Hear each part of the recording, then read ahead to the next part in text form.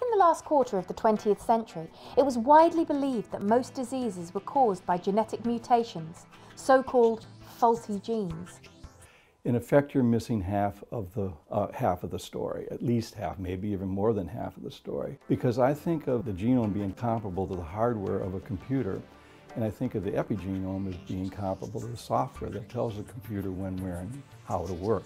And once those programs are set early in development, they're faithfully replicated throughout adulthood. And the absolutely key thing here, giving us a whole new take on nature-nurture, is that this programming is shaped by environmental factors, the stresses we're exposed to, and above all, by the food we eat.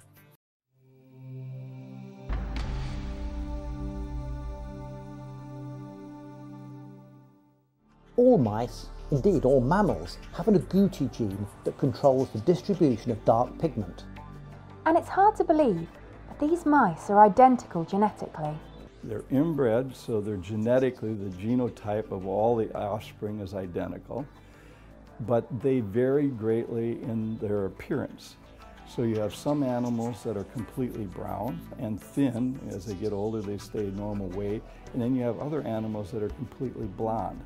They're, and they get obese, have a high incidence of diabetes and high incidence of cancer. So the basic question was, can we change the phenotype in the animal, in this case coat color, by alterations in the epigenome. So they divided mothers to be into two groups. Mothers in the experimental group were put on diets rich in nutrients containing methyl groups, such as choline, folic acid and vitamin B12, while those in the control group remained on ordinary mouse food. And then they waited.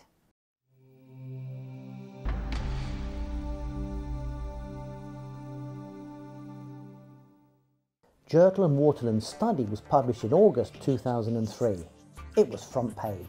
And was quickly picked up by major newspapers, magazines and TV programmes in the United States.